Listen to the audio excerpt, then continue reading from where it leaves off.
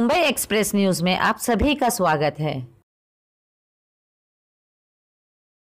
This is Mumbai express coming to you live from Marve road Malad west and I am over here at a place where making pandal have with me also the owner and he just going to give us a difference as to what is what is the difference in this year idol making ये साल difference क्या है corona के वजह से? ये sir जो 100 percent हमारी बुकिंग होती थी गणेशोत्सव मंडल या घरगुती गणपति जो है, ये सर कोरोना की वजह से 70 परसेंट इसकी बुकिंग हुआ है 30 परसेंट ये बार नहीं हुआ है। तो हमें बहुत ही मुश्किल से जीना पड़ रहा है अभी। और आइडल में कुछ डिफरेंस है, यानी कि क्वालिटी और प्रोडक्ट के हिसाब से? बरोबर। हमेशा कैसा अलग अलग पैटर्न के हम लोग गणपति बनाते थे बट इतने पैटर्न ये बार नहीं बने। सिर्फ़ गणपति जी ही बने, क्योंकि अलग अलग जो रूप में बनते थे, शिव जी के रूप में बनते थे, कृष्णा जी के रूप में बनते थे, और दूसरे जो गणेश जी के जो अलग अलग जो भगवान हैं, उनके रूप में बनते थे, वो नहीं बने। सिर्फ़ गणेश जी ही ये बार बने।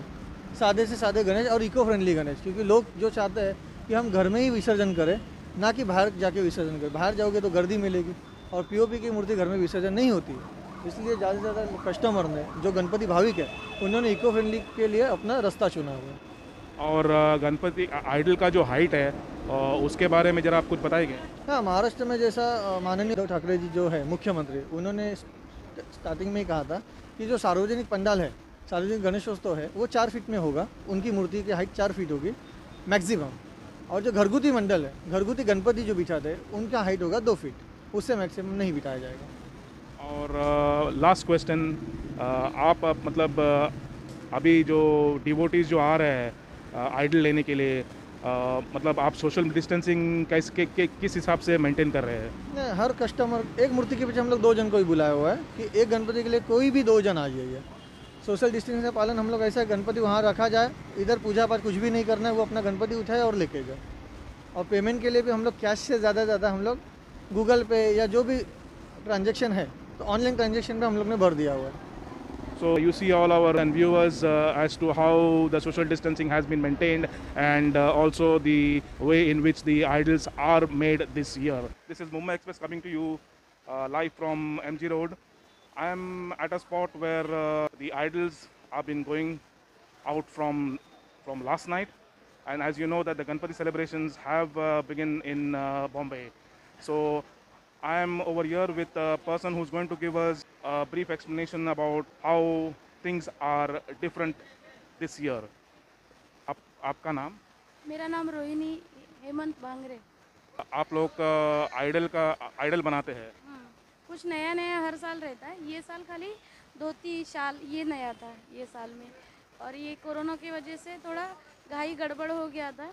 इसके लिए थोड़ा एक दो महीना ही मिला पर उसमें काम पूरा हो गया था। और ये ये साल इसके अलावा और क्या अलग है?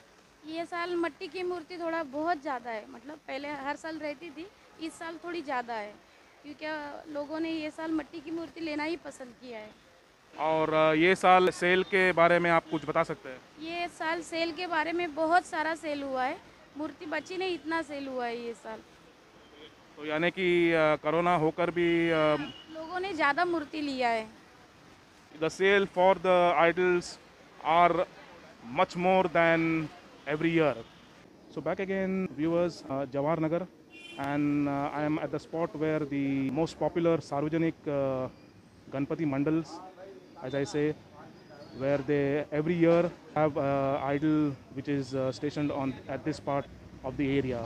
So I have with me two of the mandals uh, workers, co-workers, uh, who are going to explain to us as to what is going to be the difference this year in the celebrations.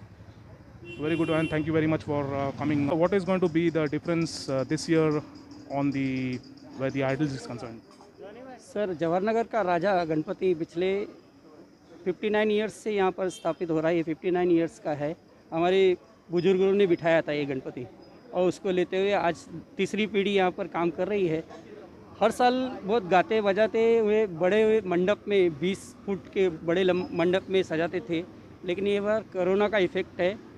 और हमारे सरकार की तरफ़ से भी request है कि छोटे से छोटे से माहौल में अपने आप को बचाते हुए मास्क लगा के, सैनिटाइजर लगा के इस तरह से एक दूसरे को गैप देते हुए बनाओ। तो हमने इसको सजावट के तौर पे छोटा सा मंडप स्थापना किया। हर साल चौदह फुट की मूर्ति आती थी। अब उसको हमने जो पूजा की, हमारी जो मूर्ति होती है, उसकी स्थापना की है। और पूजा की मूर्ति आज स्थापना होने वाली है।